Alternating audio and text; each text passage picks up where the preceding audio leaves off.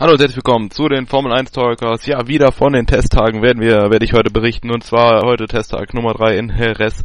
Ja, der Testtag war davon geprägt, dass es anfangs nass war und somit, ja, die Strecke nicht natürlich voll ausgefahren werden konnte. So konnten allerdings immerhin die neuen Regenreifen getestet werden. Was auch viele genommen haben, es wurden äh, viele Runden gefahren, muss man sagen. Ähm, insgesamt, jetzt hat sich die Seite, äh, insgesamt 688 Runden, das ist äh, viel für so einen Testtag.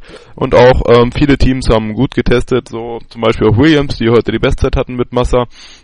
Was am Ende möglich war, da am Ende kurz noch die Supersoft gefahren werden konnten, weil es dann doch etwas trockener wurde.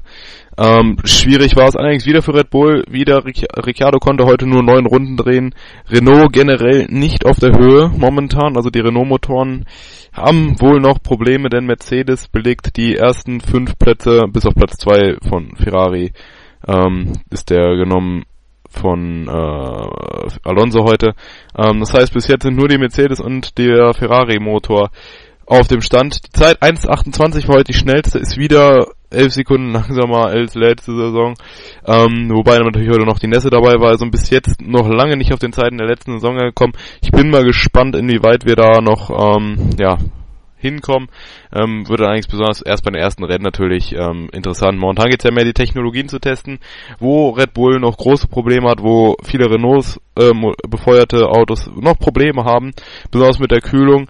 Ist natürlich auch schwierig, allerdings Ricciardo hat es auf den Punkt gebracht, noch geht es nicht um Punkte, noch verliert man nichts, außer natürlich Zeit zum Testen. Ähm, ich bin gespannt, wie sich das jetzt weiterentwickeln wird, die nächsten Tests, ob Renault da mehr zum Fahren kommt, besonders auch Red Bull. Ähm, Mercedes scheint einen guten Motor gebaut zu haben und auch Ferrari, der scheint okay zu sein. Ähm, ja, das war's erstmal vom Testtag, mein Eindruck. Ich denke, Mercedes hat momentan den besten Motor. Bis dahin sag ich erstmal ciao.